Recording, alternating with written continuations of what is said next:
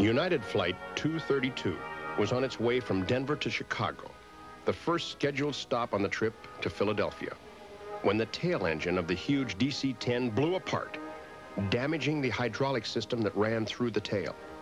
The plane was without proper steering or flaps, and the pilots struggled to bring it into the closest airport, which happened to be in Sioux City, Iowa. They almost made it. A wing dipped as the plane was making its final approach, and the fiery, tumbling aftermath was captured on film by a local TV cameraman.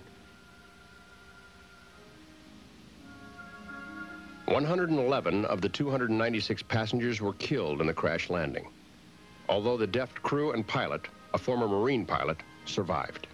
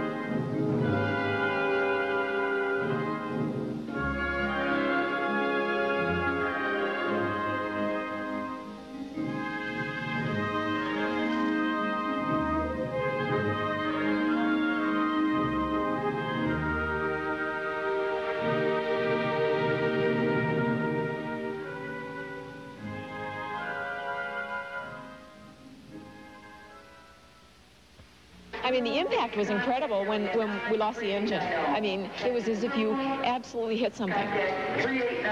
And uh, we knew we were in trouble then, but we thought we had two other engines. We didn't know that the second engine had gone also. If that's true, number three could actually uh, produce shrapnel, which then was ingested in number two, and you could knock out two engines.